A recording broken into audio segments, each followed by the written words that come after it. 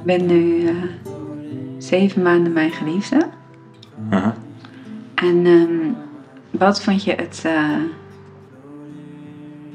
het spannendste moment? Toen gingen we picknicken in de berm, op de heuvel. En toen hadden we geen water meer, dus toen ging ik alleen terug water halen.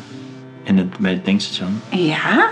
En toen had ik water gehaald, maar toen dacht ik, fuck, straks bij zit je er niet meer. Heb ik het allemaal gedroomd. En dan zo denken, fuck, ga ik dit allemaal weer doen? People love a love story. Zeker van twee gebroken mensen zoals wij. Waar ga jij het eigenlijk over hebben, je nieuwe voorstelling? Goeie vraag. Wat heeft je verrast aan mij als geliefde? Dat je heel lief bent, heel zacht.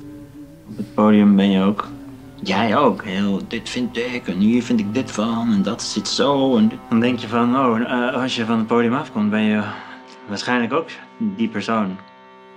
Maar dan ja, ben je gewoon echt een heel lieve grote schat ben je. Dat vind ik zo mooi aan jou. Jij zegt altijd, ja ik doe ook maar wat. Wat zie je al? Nee, niks. Jawel. Sorry. Ik denk dat het gaat over waarachtigheid en over waarheid en over echtheid. En, en al is het een stilte, dan ja, mensen zijn net zo lief stil met jou. You're echt mijn favorite. Mag ik een kus geven? ja, natuurlijk.